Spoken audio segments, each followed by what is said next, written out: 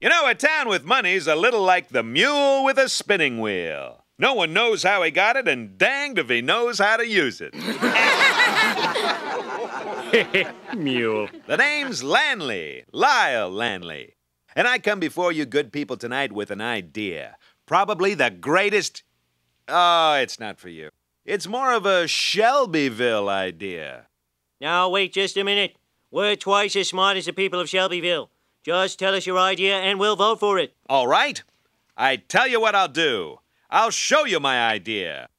I give you the Springfield Monorail. I've sold monorails to Brockway, Ogdenville, and North Haverbrook, and by gum, it put them on the map.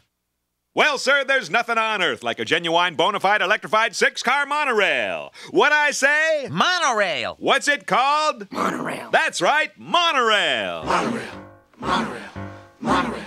I hear those things are awfully loud. It glides as softly as a cloud. Is there a chance the track could bend? Not on your life, my Hindu friend. What about us brain-dead slobs? You'll be given cushy jobs. Were you sent here by the devil? No, good sir, I'm on the level. The ring came off my pudding can. Take my penknife, my good man. I swear it's Springfield's only choice. Throw up your hands and raise your voice. Monorail. What's it called? Monorail.